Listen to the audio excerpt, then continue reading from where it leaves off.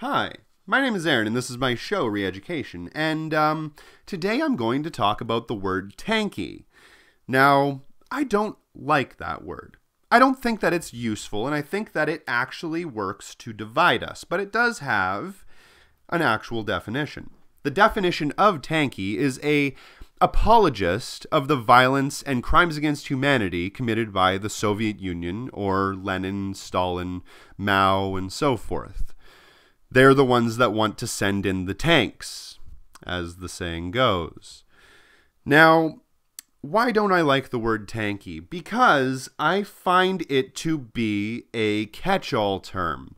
It's one of those terms that we use to divide people, and it's not dissimilar to SJW or jihadist.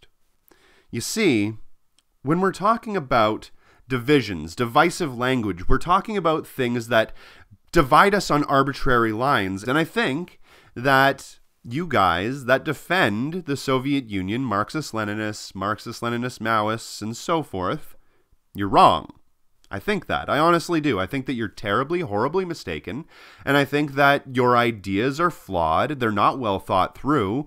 And don't you realize that it is not communism that we need right now? It is anarcho communism. You see, Marx once said either we have socialism or barbarism.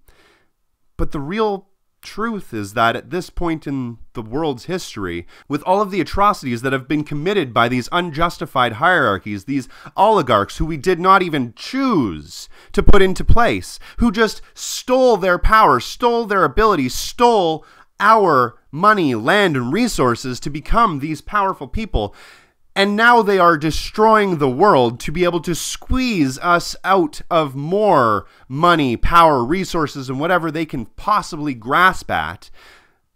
It is no longer socialism or barbarism. It's anarchism or annihilation. And that's the truth. Anarchism or annihilation.